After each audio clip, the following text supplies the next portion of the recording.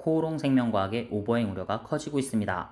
기존에 발행했던 연구 전환사채 12의 전환가액이 급격히 낮아졌기 때문입니다. 업계에선 만기가 돌아온 연구 12의 이자 부담이 커진 코오롱 생명과학이 12 주식 전환을 통해 상환을 노리고 있다는 해석을 내놓습니다. 금융감독원에 따르면 코오롱 생명과학은 지난달 400억 원 규모의 2, 3회차 12 전환가액을 3만원대에서 2만원대로 33%나 낮췄습니다. 코오롱 생명과학이 최대 주주인 코오롱을 대상으로 3자 배정 유상증자를 진행하면서 전환가액도 유상증자 발행가로 조정된 겁니다. 해당 시비는 지난 2021년 말 표명금리 0%로 발행됐습니다.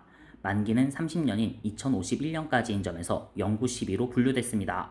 다만 발행 3년 후 만기 보장이자가 조정됩니다.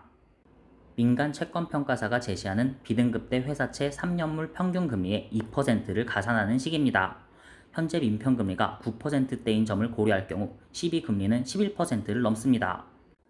전환가 조정으로 주식 전환을 통한 시비 상환도 가능해졌지만 주주들 입장에서는 오버행 우려가 커졌습니다.